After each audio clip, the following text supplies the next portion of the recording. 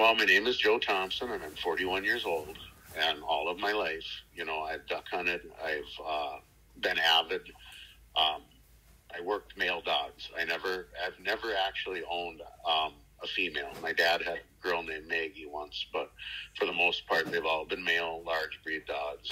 Um, and I, I, I was avid hunter, upland game, duck hunting, stuff like that. Um, and then my dad ended up, you know, he got cancer, and that was five years of being tube fed, not being able to eat, um, and trying to get through it. And he eventually passed away from that. Um, during of which, uh, you know, I lot a lot of things went to the wayside, such as you know upkeep on four wheelers and all these things, and and there was no way to get my deer hunting gear into the shack. There was no way to you know take my family in there and haul gear unless you wanted to hike and put on your backpack. And then once you got there, you couldn't really do much. And you know, when you go for a weekend or even a, a week, you got a lot of gear just in water and, and food and stuff. And it dawned on me one day, you know, I wonder if Ringo um, could pull some of this stuff and help me out. And again, Ringo was purchased uh, when my dad got sick because I wasn't doing very well.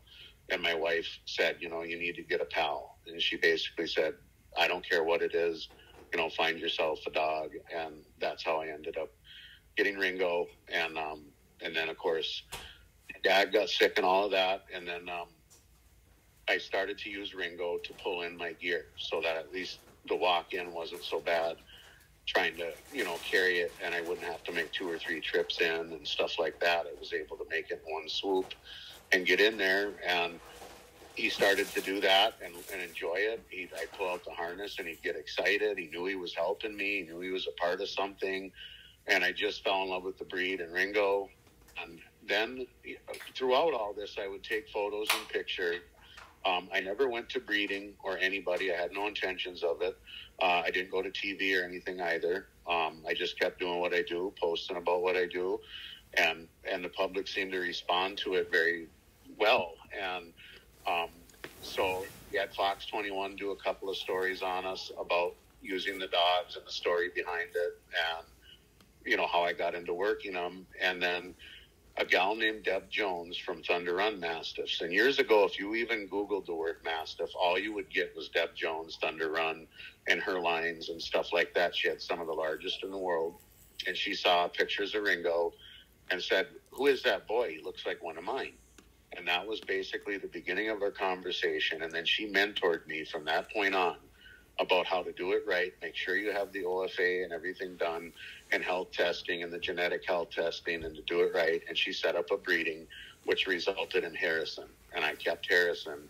Uh, he's 247 pounds of pure muscle, works every day, and uh, that's Ringo's firstborn son in history.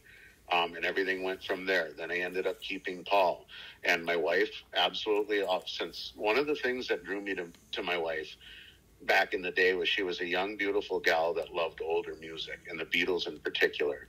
And so when it came to keeping more dogs, the only agreement was I get to name them. And I thought, well, if you're going to let me keep 700 pounds of dog in the house, the least I can do is let you name them. and it just caught, it caught on. And so you got Ringo, Harrison, Paul, and John. John is not of my blood. He is completely out of Deb, um, Thunder Run Mastiffs and his father has been dead 12 years. So it was 12 year frozen semen um, where John came from. And I needed, I did need one dog not related in case past clients that kept pups of mine wanted to use me again. I needed to have a stud with, um, with no relation to mine. Um, and again, my studs have to earn being called a stud. John's not a stud. Paul's not a stud yet. Uh, I usually wait till three years old to make sure there's no strange things that come cropping up, and I don't believe an animal that large is mature until three. And in my history, their semen seems to get better after that point. A lot of people will tell you that I'm wrong. Not in my experience or my repro vet's experience. Um, when you collect a dog at a year old, it can be very, very. It can be bad, good, clean out. The, the semen itself needs to mature uh, sometimes the freezing can go bad because it's young. So really, I don't even get uh, until they're three, and I can see that they've had a great three years and are doing very well, and there's no strange things cropping up. And then the next step is then I get them tested for their OFA and their genetic testing. Uh, sometimes I do the genetic testing prior because it's just a swab, but uh, that's when I start looking at them as potentially stud. Um, so right now I offer Ringo and Harrison. Paul is not ready yet. He just turned three and he's undergoing his testing. I'll probably offer him sometime this fall or spring. Um, and then John has a ways to go. He's not even a year old yet. So,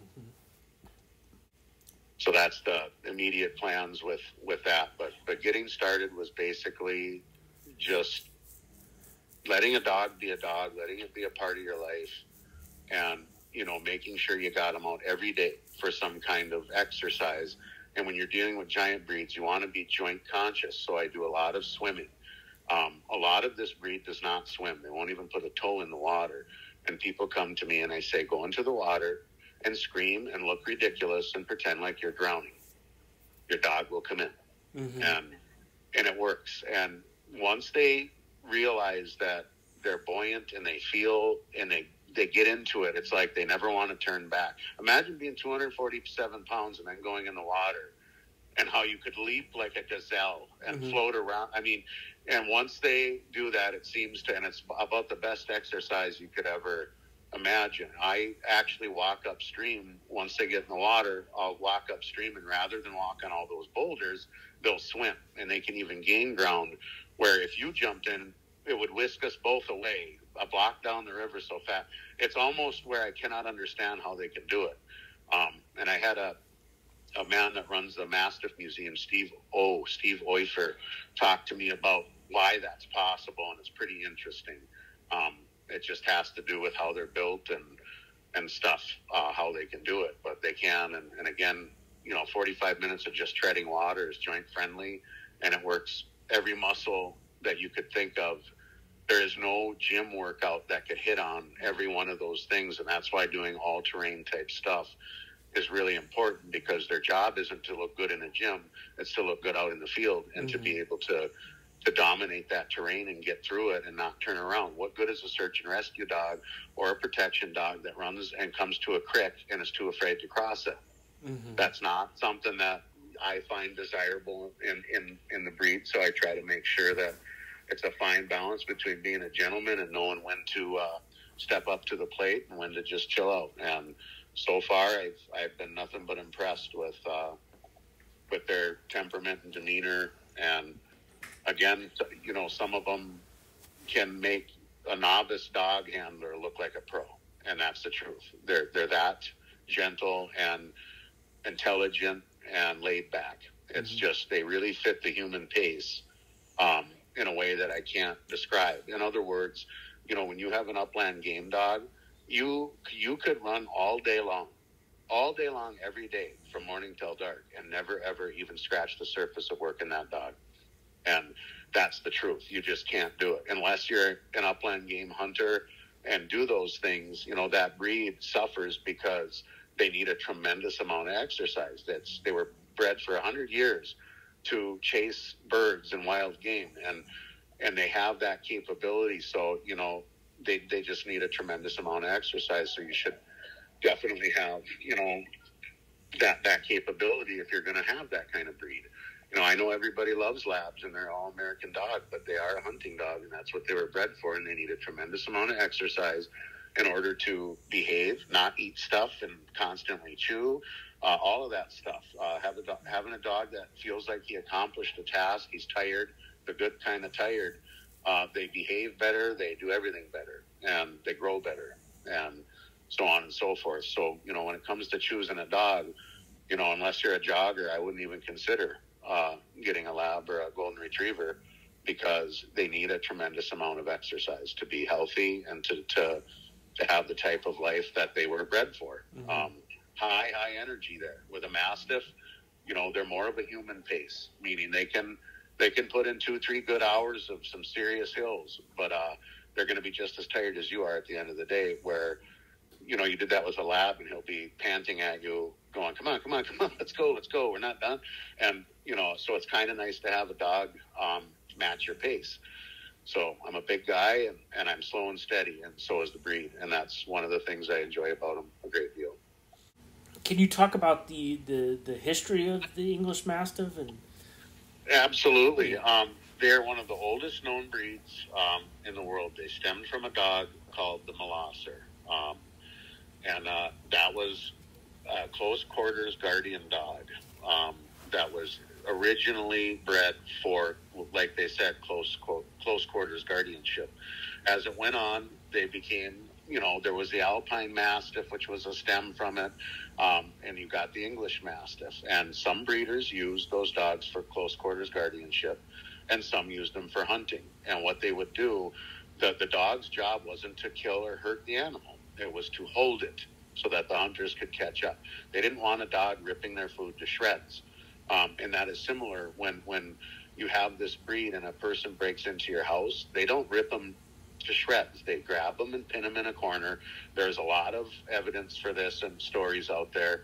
Um, and the dog, no matter what that person does, will just hold them there until the master comes or the police comes or whatever. So a guy might get in your house if he's dumb enough to hear the bark behind the door and still want to come in, uh, but he'll never be able to leave. And and again, nothing the, the person won't get harmed. They'll just get held. Um, and so that's what they were they were bred for. It was to, to hold the game um, till the hunters could catch up and dispatch it uh, for food. And then they had certain ones that they kept at the at the the castle or wherever they lived for close quarters guardianship. Um, so you kind of had two stems of that. There was down to only 400 mastiffs on on the planet at one point and they had to use other breeds to try to save them. Some bred with uh, French Mastiff, some bred with uh, with uh, Saint Bernards, uh, some bred with beans to try to save the breed and then breed it back out. Because again, they were down to only 400 of them on Earth at one point. Um, so that is the basic history of the Mastiff. Um, when you think of all other dog breeds, all of them have a have a part of Mastiff in them. Um, the the bulldogs, the bull mastiff, the the um, the King Cane Corso, the all of those breeds, they all stem from mastiff blood, um, and then were diverged for their specific purposes after that. So when I when I speak of that mastiff, I always say, you know, it's the least watered down breed or the least um, the breed that did see when you have a dog that was bred to retrieve, it becomes sort of like more robotic, and the fact that he has this inbred purpose to, to constantly retrieve something. So that takes his focal point off of your safety. Um, with a dog like this, his only real breeding, the only reason he exists was to protect humans and uh, to hold big game so that you, that aid you in the hunt. Mm-hmm. Um, and again, you know, what good would it do if you had a dog, you know, six miles ahead of you chasing that, that game animal that far ahead of you?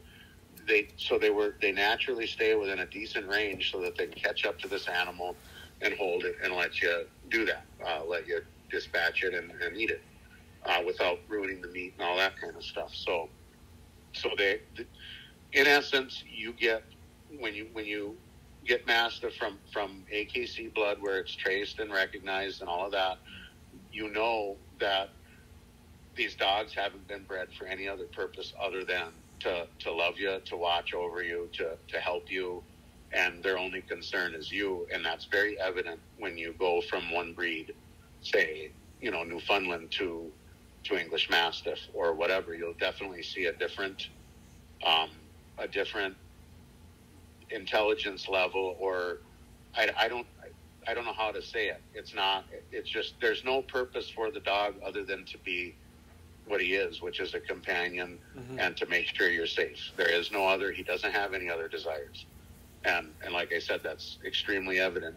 You know, my kids will be playing out in the yard, and the one will fall down, and no matter what those dogs are doing, they'll get up and run and stand over him, right over the body. You know, if he lays down, he'll stand right over him and look around because he knows when when a child falls that he's vulnerable, that something could run up. So even if they're just playing or if they're climbing trees and they get too high, you'll hear the dogs bark and be like, okay, they don't like that because they know you're getting into the danger zone mm-hmm. and stuff like that. And so it's one of those things where, you know, you're sitting in the house and if you hear them bark, it's not like a diff, it, you know, you better go out and look. it's and there's some peace of mind there. You know, they'll, they'll let me know if there's anything that I need to be worried about uh, right off the bat, and that, like I say, that helps you kind of work throughout the day and know that your kids are out in the yard and, and that they got somebody there that's not going to let anything happen. And if anything did, you'd be the first to know. So mm-hmm. um, that's basic history of, of the Mastiff. Uh, through the years, you know, a lot of people have, have used them for, for pulling carts, uh, things like that. Um, but for the most part, their their main main breeding is for close quarters guardianship and for hunting, and just be a, a pal that pays attention and be a part of your life. And and again, they're they're one of them dogs. You know, if you if you hurt their feelings, you can see it in their eyes and in their expression. And it's just I haven't seen that in other breeds so much. I always compare the mastiff to a gorilla. Uh, they remind me more of a mountain gorilla than any other animal. Uh, just the way the way they are. So, mm-hmm. so one of the one of the things about you know you as a AK as a breeder of AKC dogs, you need to adhere to that standard. Meaning, you know, these dogs have to make make us make a certain. They have to be quality, and they have to be you know what they have to be. However, through the years, that's been, in my opinion, obscured to the degree that instead of building from the inside out, they now build from the outside in. That looks is the only thing that matters, and how to get there um, doesn't matter. Meaning, you know, if you have a dog with these great characteristics and you line breed, which, you know, what that can do is lock in that beautiful mass, lock in that, that beautiful head, lock in that height and that mass um, because you're using relatives in the same blood. But over time, that's going to cause health issues, big time.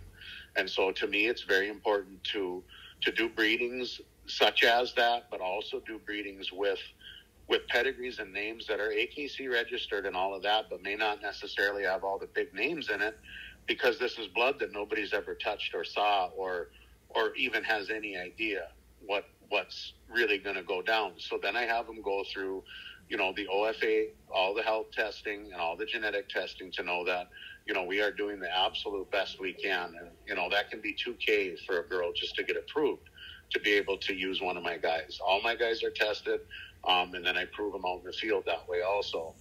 But for me, I tend to look at the inside and the outside and try to find a blend of the two instead of saying, you know, this dog has carries DM, but he's awesome so I'm going to breed him with this per this girl because he looks great. Well, to me, you know, carrying something is not good. Uh, it's not a show over, meaning if you bred a, a dog that had one copy of a bad gene to a clear female, it's not going to hurt anything but it certainly isn't necessarily going to benefit anything either. Now, if you say, no, I'm not going to use a stud or a girl that carries something, and I'm only going to breed dogs that pass all of these tests, you know from day one that you did absolutely everything you possibly could for this breed to make sure that it is good from the inside. And then if if if for some reason, you know, there was a quality lost in that, but I have not had that happen. Um, I feel like uh, you know there's a there's not a lot of difference between a 200 pound physically fit man and a 230 pound man. Meaning, there's Mike Tyson and there's Tank Abbott. Mm-hmm which one to you looks more fierce? Which one look, which one to you uh, leaves you going, wow? Now, when I see a great big, giant, saggy, chubby, you know, that doesn't leave me in a wow state, even though they're heavier. And it certainly doesn't make me go, wow, look at, you know, how, you know, if your dog, if your guard dog can't get up on a dime, and I'm talking right now, if it takes your dog five minutes to get up and stretch, he's not going to help you in the middle of the night. Mm-hmm. And so it's one of those I constantly, even when they're puppies, I teach them the best I can to lay down slowly with intention, to walk with intention, and to be able to build the muscle to lay down like a cat rather than a heavy person throwing themselves in a recliner. I believe that's a, a huge reason why you'll see all these hygromas on dogs on their elbows and these great big black patches. My, you know, you can't get any bigger than 247 pounds, and Harrison will never have one of those nasty black patches on his elbows as long as I breathe, mm-hmm. because because that's how it is. If they don't possess the muscle, if it's just weight, you have to throw yourself down. And when you do that, it's going to hurt your elbows over time. You think of how many times a dog lays down in a lifetime And if he's throwing himself to the floor, that's not acceptable, not on my watch. So I make them hold positions if I can using treats. I start them young that way. Um, holding positions as much as I can. You know how Bruce Lee would tell you if you held your arm out just forever, it would build the most amazing muscle ever just mm-hmm. by holding your hand still out and outward. It's sort of like that as much as you can. And that's easier on the joints. It's holding a position rather than repetitive use. Um, and so I'm a big fan of deep mud, water, snow, and joint friendly stuff right down to how they lay down. Um, and again, there's there's mastiffs that'll walk with a flop. They just they put their feet wherever. Like I don't care, flop, flop, flop. That's not how I want my dogs to move. I want them to place their feet carefully with intention and authority and know what they're, you know, know that they're confident in their step and confident in their abilities. And, you know, so if we do hills, they have to go down just as much as they have to go up. Because if you only went up hills, you'd only build the rear you wouldn't build the front. And so you need balance, and balance with those dogs is important. If you've got a tiny rear and a giant front end, that's not right and not good for them, or a giant rear and a tiny front end isn't very good either. Uh, you try to maximize and, and compensate for all of that. And in a gym setting, there's no way, there's absolutely no way that you could recreate any of those things. So, I mean, you might get a good physique bodybuilding a dog, but it's not the proper physique. It's not not a natural physique, and it's not a physique that would help them in the real world. Mm-hmm. So that's that's how I why I do it the way that I do it, and I know at the end of the day, I couldn't have worked every one of those muscle groups better than the Woods did. So. You know, that's why a deer can jump the way he does. That's why wolves can run the way they do and have that type of stamina. That's why all of it is there and you know everything out there is nutritious from the dust going in their nose to the minerals in the grass to all of it it's all natural and and and a part of it you know my dogs take dust baths i let them. They do that for a reason. It helps with bugs. It helps with sunburn. It helps with allergies. It helps with a lot of stuff. Yeah they're a little dirty but that's the way they're supposed to be. He knows. They know what they need. Mm-hmm. you know those dogs can teach you a great deal. And you know, it doesn't mean when I go do breedings, I don't give them a luscious bath. Of course I do. But, uh, you know, I put up with the dirt and I brush my dogs rather than bathe them. When you continuously bathe them to make them like a stuffed animal, you're going to have skin issues, ear infections, pustules, and all sorts of problems because they need those oils and greases that their body naturally produces to have healthy skin. And, you know, everybody wants this clean house dog. Well, you know, I wouldn't bathe them more than once a month, and I'd use the, the softest detergents humanly possible. Mm-hmm. And then use a Furminator or a brush to clean them. The brushes clean all that loose dirt and stuff just as good as as washing, but it doesn't uh, it doesn't affect the, the quality of the skin and the oils. Mm-hmm. So mm-hmm. so that's that's all part of it. It's all part of it. You know, that mud and everything. That's so good to exfoliate their skin and, and you know, to date, I don't have any allergy issues. I think I would. I think I would have allergy issues if I bathed them obsessively and didn't let them do what they do. I, I might, but you know, up to date, you know, th- there's a lot of allergies within the breed, and I don't have it. Um, I I haven't had a bad vet visit yet, and I definitely attribute that to letting a dog be a dog, letting him teach you a little bit, yeah. and keeping him a huge part of your life. If you got a dog you're afraid to take to the grocery store for whatever reason, or you know worried about opening the door that he'll jump out the traffic, you either need to train that dog, send him to somebody to have him trained so he can be a part of your life, or think about getting a different breed mm-hmm. that matches matches your pace. You know, one of the things I will warn: if you're an elderly person and you have, let's say, a heart condition, and this is stuff I've read through research and you own a mastiff and you go down and you have to hit the lifeline button on your necklace or something and the paramedics come all dressed up in white five six people come into your house to try to save your life good luck because that dog ain't letting them touch you mm-hmm. And so i don't recommend elderly people that live alone to own one of these dogs because i believe it could be counterproductive in the event that they do need help um, that dog will stand over the fallen owner and not let and you have to think of that from a dog's perspective. All these people in white and beeps and buzzards and and cords and masks and all this stuff, and they're going, no, no, no, no, no. I don't know what's going on, but you ain't touching my person, mm-hmm. you know. And so you know, definitely not not not for that type of person. Um, they're definitely not for everybody, but but I, I believe you know they can fit a wide variety of, of people's lifestyle, and so can any other breed, provided you know you put the thought into what type of person you are and what type of companion you want. Mm-hmm. And, you know, that's the biggest thing right off the bat. So, you know, you see somebody with a shepherd or a lab, hopefully that, you know, hopefully they're, they're very active people because if not, they're going to have trouble. Bored dogs, dogs that don't get exercised enough or dogs that, that need more exercise and aren't getting it, suffering because of it. So, you know, that's kind of a tough question because, in truth, the AKC standard is there to protect and preserve the breed and make sure people aren't, you know, screwing it up. I guess is is a, the best way I can put it. Um, I like most of everything that the standard um, states. However, you know, there are some some things I don't really agree with, such as there are black mastiffs and they're absolutely beautiful, and they're not registerable. Uh, there are piebald mastiffs that are absolutely beautiful, 100% genetically a mastiff, but they're not recognized by AKC.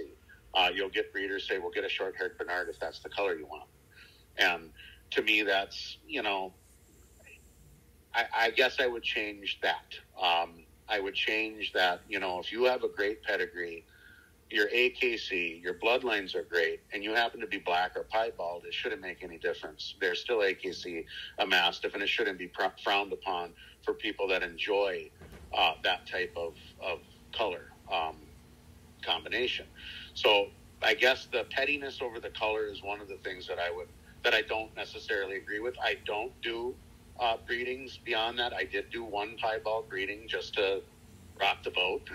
yeah. and uh, Yep, I did do that, and uh, they, it was one of the best litters, health wise, everything that, that I ever did. Uh, the genetic diversity was was unbelievable. She had a half Australian ped and uh, working dog pedigree and show dog, and uh, turned out to be a, a, very awesome breeding. And nobody in the world would ever know the mom was a piebald ever, never. Mm-hmm. They're all beautiful, regular, normal but they do carry the piebald gene. But again, you know, I don't allow breeding rights. You know, my pups can't be sold for with breeding rights to the highest bidder to do whatever they want with. I protect that, you know, very much so, and that's for the breed. That's so that, you know, that it doesn't get. So I don't intentionally breed for any anything like that. Um, however, I'm not scared to. I'm not if you are genetically an AKC Mastiff and have the same history and pedigrees as some of these other ones, but your color's different, that's not going to make me change uh, what you have to bring to the table. You know, so I I'll stand behind that forever. Um, and so I guess the overall attitude that AKC has, which is you know put the visual above everything else, um, is something I wish was was different. However, when you are showing a dog, um, it is for breeding. That's what showing is about. And so all of these dogs should be health tested to the highest degree. Mm-hmm. Um, and that's always a good thing. So if you are seeing a nice, beautiful stud in the show ring, um, if he doesn't have his health testing, he sure as hell shouldn't be in that show ring, in my opinion. Um, I don't show that way. I show a different way. So I don't know if they're allowed to show if they aren't tested or not. Uh, I don't know that. Um, I guess that'd be something I'd have to ask around and find out. But um, I've often fantasized that one day I'm going to grab the Fur Beatles, show up at a show, run through the whole entire building right out in the middle without telling anybody, and run out the building and leave and go home. And I might do that, like kind of streak, streaking the whole arena, but yeah. not nude with my dogs and leaving. And I might do it someday. I've been invited to specials and stuff like that, but truth is, you know, I love the woods for a reason, and I do have, you know, anxiety and, and uh, PTSD, and and that's another thing these dogs help with to a degree I could never describe. Um, as a therapy dog and a dog that breaks the ice and gives a conversation piece, and to make sure, I'll tell you what, when I'm at a gas station and those dogs' heads are sticking out the window, nobody is looking at me. Nobody cares what I'm wearing. Nobody cares if I have a booger. Nobody cares. They are not paying, and it really does kind of break that ice.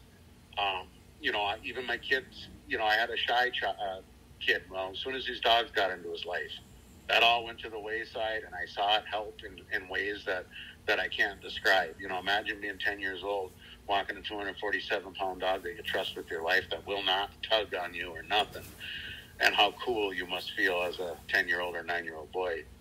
Uh, it's got to be it's got to be something else. I never had these as a child, but I did have large breeds. I remember my Newfoundland and thinking he was he was just the coolest dog to take around. And till this day, I still have him tattooed on my right arm. Oh, that's um, awesome. When he died, I said, "I'll carry you with me forever." And I had a photograph taken, and then it transferred onto a tattoo. And all my pedigrees carried Karu as the middle name, and his name was Mushta Karu, which means black bear in Finnish. So all of my dogs have Karu as their middle name in honor of Moose. Oh, awesome! So, awesome. Yep, I kept my word to the highest degree. I carry him on my arm, and I carry him in pedigrees. Uh, he was a great, great boy, and probably was the reason I absolutely fell in love with those larger breeds. Um, very similar temperament to the Mastiff, um, and the same type of I don't want anything to happen to you um, motive, motivation. Mm-hmm. That is the motivation. They will not leave you behind. They will not disappear on you. You will not have to go look for your Mastiff. If you do, something is wrong. He's stolen or dead. Mm-hmm. Yep, he'll come back no matter what. So, even dogs in heat will not make my, my I get the neighbor dog, and she's so small. It's the only neighbor I have that it's anatomically impossible for my dogs to to do anything, and they don't care. I don't know if they know she's not the same breed or can't, but but they will they will choose me over going to the neighbor. They, they won't even go over there. They don't care. Um, it's just the type of breed they are. Mm-hmm. So even even a dog in heat, it might pique their interest, but it will not inevitably make that dog leave you. Where I don't know, a lot of other breeds I think would be like, screw you she's in heat and I'm following her till the day I die. yeah. And, uh, yep. So yeah. these dogs aren't don't seem to be like that. And and again, I'll bring them to a vet to be collected for breeding or something. There's dogs all over, and they march to room six. That's the room we go to down at Stillwater every single time since the beginning. And they will go walk to room six, stare at the door like a stone, like a gargoyle, and pay no attention to any dogs or anything that is going on in that building. And I find that extremely strange as well, that they are that, you know, intelligent and know. And again, what dog isn't over trying to smell and play with the, all the other dogs? They don't care. They, they really don't. And they're good with all other breeds. Um, I've had them around every breed you can think of via vets and, and you know, absolutely no aggression. Uh, doesn't mean that when they bark, it doesn't scare the other dog because it does. It's so loud and beefy sometimes. Mm-hmm. You know, I've had dogs just scream like something happened and just from seeing them. you know, a lady had a boxer. She was walking down. I have a dead end road and was coming down the road, and the the the boys ran to the edge of the driveway just barking, and that dog laid down petrified and screamed. And the lady goes, "They didn't do anything. I don't know what's wrong with my dog." I said, "She's probably just." You know, a little overtaken. I said, let's introduce them. And it wasn't minutes later, and they were frolicking on the road having a blast. And I've seen her many times since. And she said, oh, yeah, she looks forward to playing with your big fellas. And, uh, you know, so, but the initial shock of how big they are, I think, can can alarm other dogs yeah. sometimes. Yeah, no, no doubt. Unnecessary. Yeah, they're unnecessarily afraid of it. Is what I'm saying. Yeah, as nice as I can. Uh, it does happen from time to time. It depends on the dog, on the other dog itself. Mm-hmm. But but never ever have I had those dogs show any aggression to other dogs um, at all. So, and that's another thing that I think is is pretty comforting. You know that you can go to Canal Park and not worry about your dog tearing off after another male dog. They don't care. They don't care at all. Mm-hmm. It's like they know, you know, it's like Muhammad Ali. Do you think he cared if somebody said they were tougher than him? No. He, yeah, I don't care. and that's kind of their, their attitude is I don't have anything to prove. I, I just don't care. Yeah. And they don't really get excited over other dogs. And I find that pretty neat. So, mm-hmm. truth is, uh-huh. you know, if if I wanted to be a breeder, a full fledged, you know, all I would have to do is, is get a couple girls, hand select some, mm-hmm. and do it that way. Uh, however, you know, having both sexes on site can be very troublesome. Uh, I I often believe too that uh, that it's just I, I like the all male regime for a lot of reasons, and I don't I don't tell people this a lot of the time, but I will. Um, keeping them all related means they are all concerned with the same genetic code being given out. Um, so that so in a wolf pack, you know, a, a wolf with none of the alpha male's genes. He's dead, but his own son is is safe from ultimate death. He'll still put him in his place, but he ain't going to kill him because he knows that that's the next generation, and this is one of the same. So I believe that keeping them related keeps the peace. It also increases competition, which increases testosterone, which increases semen quality, which increases uh, physical appearance. So by keeping them related and all males, it benefits the stud universe in ways that I can't describe. It's partially why Ringo's nine and has a semen count of almost 3 billion. Most large breeds don't even get to a billion. He's only gotten better through age and better as he's grown, and same with my other ones. Um, same thing. And so it's it's more of a friendly competition because they might get into you know yelling matches, but there's almost never any physical contact whatsoever. Uh, yet they compete. And again, I have a feeling if I had, you know, a three-year-old non-related dog, which I guess I'm going to find out, but I'm going to raise him as a pup with the other ones. But but at sexual maturity, I worry that if the dog isn't related, that they're going to not want him in the pack. Um, I don't know that yet, I, but that's that's a crusade that I'm going to find out one way or the other. And if it doesn't work out, it doesn't work out. Um, but I hope it does. But I really strongly believe that all animals, and this is a fact scientifically, I also have a de- degree in environmental science, biology, and art. Um, so I do have some background there. And timber wolves can smell by one track from glands on their feet the age of that animal, the size, the sex, and all of that, and whether it's related or not. So uh, they're they are well aware that that is their son or that is their relative, and I do believe that's why I don't have horrible dog fights and problems like that, and yet it keeps that that more friendly competition going. Um, and they teach each other things and help each other build muscle and play. You know, the tug of war and stuff and all of that, doing it amongst themselves and and stuff like that. Occasionally, yeah, there's one that gets upset, but again, I've slow motioned all of it, and they don't ever even touch each other. You'd swear that there was this massive battle. Watch it in slow mo. It's nothing more than a dance to see who's got the louder voice and doing the biggest display, and they're just communicating that way. And the truth of the matter is, is if I went up and tried to interrupt that, or had them on a leash and kept pulling the dog. You ever see those where before they dog fight, they're on leashes and they keep pulling that leash? Yeah. That charges a dog up. So when when you're at a dog park and another dog comes up to mess with your dog and you're jerking your dog back, you're just revving his ass up. Mhm. You need to let them communicate the way they have to without you trying to intervene because the second you do, you're what winds up happening is if I go up and try to get in the middle of an argument my dogs are having, now there's one dog growling, and Ringo thinks that Paul's growling at me, and Ringo's now mad that Paul might hurt me, and Paul's mad that Ringo's growling and might, and all of a sudden I become this thing that they need to protect because they're already in this thing, and then they end up fighting over who's the. So the honestly, the, the the very best thing you could ever do is, you know, I try to have a pail of water and I douse them with cold water. I'll stop it, um, or you you literally walk the other way. So they they start getting into it. You go, okay, I'm leaving, and you start. You don't get 30 feet away and the fight stops and they're following you like like whatever. But if I try to go up in there and, and tell them who gets to get the tug of war or whatever, uh, it's going to cause a fight. So Mhm. You know, keeping your distance and trusting the dogs and knowing that, you know, again, I, all I have is, you know, 30 years of experience. I've never had another dog hurt another dog. So if in 30 years of doing this, I've never had an injury, I have to trust that, that they're not going to hurt each other. Mhm. They never have, ever.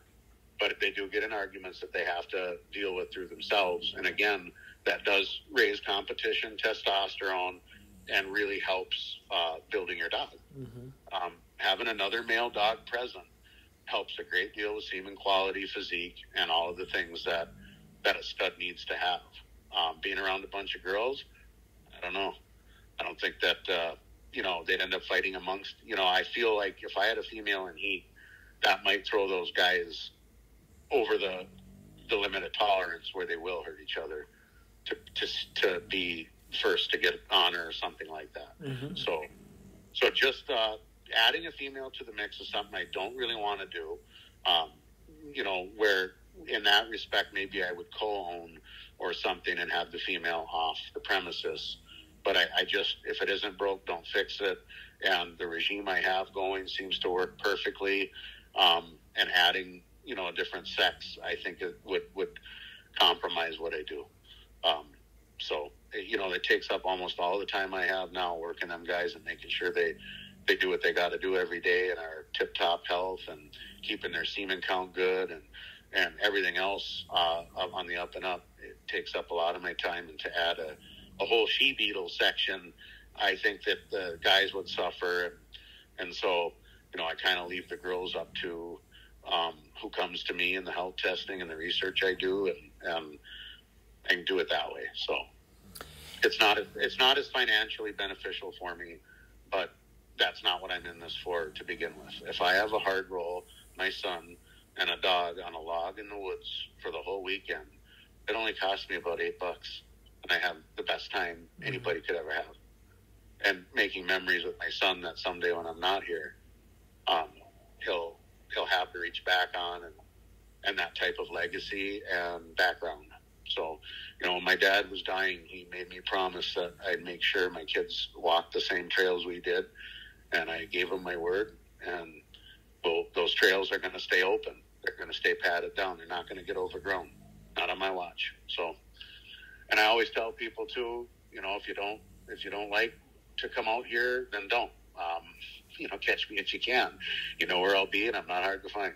Right. So, yep. If you get all, all are welcome, I'm not changing where I find and feel the best. And I know my dogs do, and my kids do, and you know, so that's that's all I want out of life is the ability to keep doing and doing this and be able to be outdoors as much as I can, and to bring that to everybody and show them that you know a simple little walk in the spring in June you can find turtles, mud turtles, snapping, just a whole world of awesomeness that really exists that's there that anybody can do. And again, I think if I look back at the memories I remember it's all stuff like that.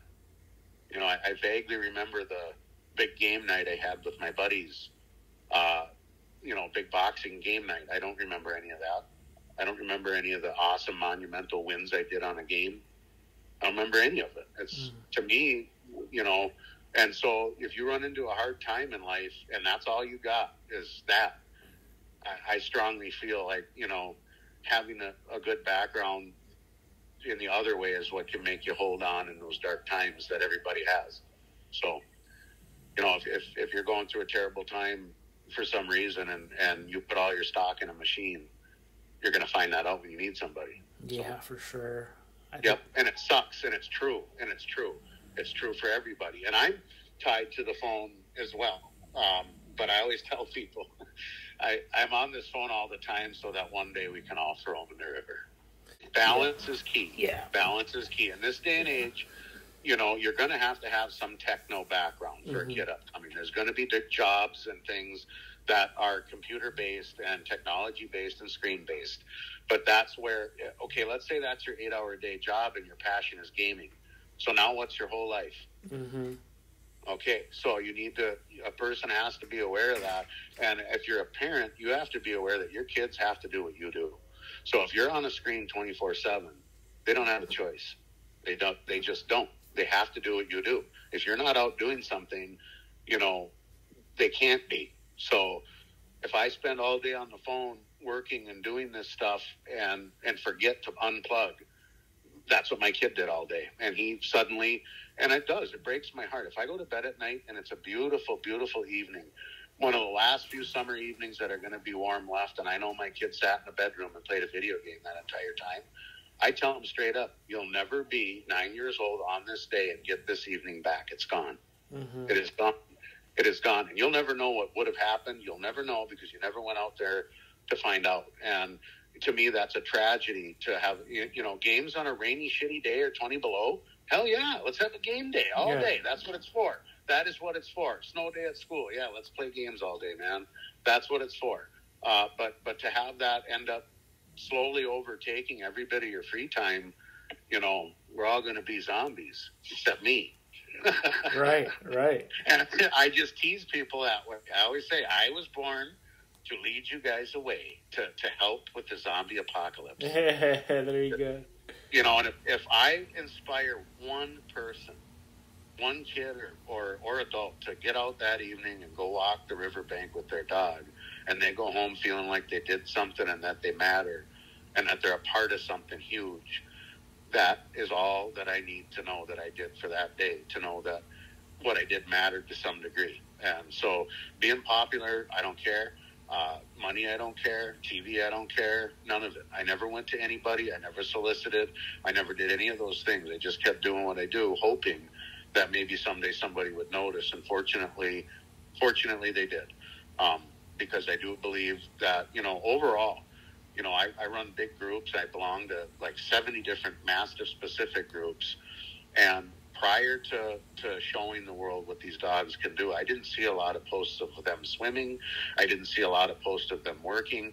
And over the course of my career, I see more and more, especially on my Fur Beatles Friends and Family page, of these dogs swimming and happy, smiling people that are proud of their dogs and how they can move and, and how many people were in awe of seeing. You know, it's fun to just even see a 200 pound, 250 pound dog swim is awe inspiring. It's like seeing a bear, having a pet bear and be able to watch it navigate that water as if they would have had two years ago to get to that elk or whatever whatever was going down. And again, I see it in the photos, and, and I've had many, many, many people tell me um, that that they've noticed that too. So the overall, I believe I've impacted the breed and the expectations people have of them, and and also showed them how easy this breed is to take everywhere you go. Mm-hmm. You know, there was a gal that um, a friend of mine knew, and I had a breeding down in the cities, and he wanted to stop and visit her on the way back. And she had this beautiful apartment in the cities, and all white leather sofa and furniture. And I had Ringo with. We couldn't bring him to the the place to go eat and do any of those things, so he had to stay in her apartment. And I was petrified. I'm like, what if he? She goes, we'll just have to take that risk I go, if he goes on your, your white, your genuine white leather, beautiful, thousands of dollars, God, there's nothing I can do. And she goes, I, I'll wipe it off. Just don't worry about it. And I left him in that apartment for about three hours. And when he came back, he never moved from the place that he laid down. Mm-hmm. She even looked at me and said, I have never seen a dog. He didn't dig in any, he didn't move. There was no uh, evidence that he had moved from that spot whatsoever. So that's the type of trust and the type of dog, and there's no excuse. Um, you know, not to bring them with and have them be as much of a part of your life as possible, provided you, you choose that right breed from the from the get go. Well, number one is I would never ever, and there are excuses up and down the block for people why they don't do OFA. Cleared through parentage, cleared by who? Who you got some kind of okay? So no, that doesn't mean anything. Um, so being 100% committed to health is number one to me. Um, not only would I never want someone to purchase a pup for a lifetime of, of companionship and have it cost them thousands and thousands in vets before the first year is up and have it this animal die of something at two or three years old um, that is heartbreaking it breaks people's hearts and it and it it, it it it is bad for the breed because people lose faith in it so number one you know, believe in yourself and and and believe in testing. It's if you are going to make any type of, of financial um, gain out of it, you have no excuse not to get that health testing done. That should be number one. Number one before you even think about anything is make sure you have something worth uh, worthy of breeding on the inside. They can look as beautiful and big and robust and awesome as you want, but if they are not good on the inside, you're setting yourself up for failure. For one, um, having that health testing back them up, back you up, is also important because, you know, in in addition to all the testing, things still can happen. At least you can go to these people with a very solid face saying, you know, I did the absolute best I could with all the things available today to make sure that we did the best breeding we possibly can. And, you know, to date, I've been very lucky with no issues uh, with my dogs, no major issues um, of any kind. But and I do attribute that to making sure that my guys are health tested and clear, and so are the girls.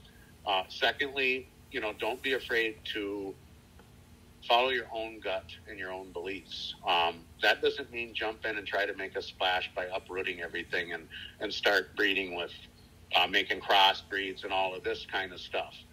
But, but also know that you know you have your own vision of how this breed should be, and provided you work within the standards, you should be able to put your own your own flavor on on that on what you do. Uh, um, again, starting with, with a great base is, is, is so important. That health testing is so important. And to be able to trace their lineage, which means, you know, AKC registered. That's not something to sit there and put your nose in the air and go, mine's AKC registered. That's not what it is. It is, this is a history of where this dog came from and all of his parents. And that is priceless information. Um, you can go back then and check all the health testing, blah, blah, but you got to contribute your part to that pedigree too. Um, I don't show because I'm just not. I like to be. I don't like big crowds. It's just been something, you know. So even when someone's filming me, it's only a couple people, and I'm out in my element. So I'm very comfortable that way. Um, so, you know, I, I you need to have people show also. Um, you know, I show the way I can and, and prove them the way I can, but it's also very important that that you do show these dogs. Um, to AKC and bring them to shows because there's two two sides to that coin. You owe it um, to show the dog and show what you've got. And you also, and that's why I have clients that show. Uh, they show my puppies, and occasionally um, I'll release one with breeding rights, provided that person will show them, champion them, and prove them, and help test them. Well, then I don't have a problem because you're doing it right. You're doing it correctly, and you're making sure health is number one, and you're not going to put a black X on my name. So you know, I, I try my best that way. And so, and then I guess one more piece of advice is, you know, to accomplish great things, you need to be around great people. And, you know, being able to tell who is a genuine person and who isn't is important. And to, you know, hold integrity above money now. In other words, if I wanted to designer breed and just sling semen like a crazy man, I could do all sorts of things like that and cash out and be done and not have to worry about much of any of it. But that's not something I'll ever do. Uh, I stand behind integrity and I'm known for that. And I do want to help this breed and not just the breed, but the people, because I don't care how healthy a dog is. If you bring him home and he lays for three years on an apartment building floor and you give him every bit of table scraps and food and treats and try to overlove your dog, he's not going to have a long life. Right.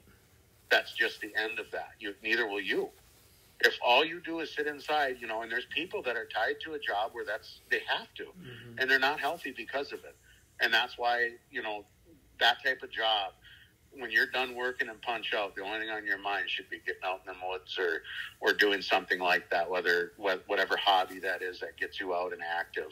You know, I am a strong believer. If you don't start that engine, it doesn't get started, and your your body's content just sitting. So, you know, an object in motion tends to stay in motion, and an object at rest tends to stay at rest, and that's Isaac Newton, and he wasn't wrong. And that goes for dogs, people, and anything else that you can think of. So, yeah, no doubt. You know, I don't want a dog that at three years old I have to leave home when I go to the woods. That's not something I ever want to see. I want my dog active till the day he can't be, and and, um, you know, Ringo's living evidence. He can jump at nine years old from a standstill, 218 pounds, into the back of a pickup without a running start at all. And I watch it and go, how in the hell can he do that? And he does. Mm-hmm. And I was told in the beginning, oh, you'll have his elbows will be terrible. By four years old, you'll have those elbows wore out. They'll be ruined. He won't be able to walk and all this. Is that so? Or are you going to tell me when he's 15 and jumping in the back of that truck? They're going to tell me that every day scheduled limited exercise is very good for everything. Yeah. Now, taking a dog you had laying on its ass for a year and you plan this rocky mountain trip and decide he's going to accompany you up that mountain, you're, you're, he's going to get life lighted back out. Yeah. Just like anybody, anything else that you try to do that to. That's just totally not fair to, to do that to an animal. So it's a slow and steady process um, from beginning to end to get them to where they need to be. It's not something that just magically happens. You know, a champion boxer doesn't become a champion without a lot of hard work and a long road, and um, and that's what makes them. That's part of why they're a champion. They persevered and kept trying and and working through the pain and that kind of stuff, and in the end, uh, hopefully, it benefits. And you know, Ringo's story isn't over, um, but I really hope to see him continue to break the mold.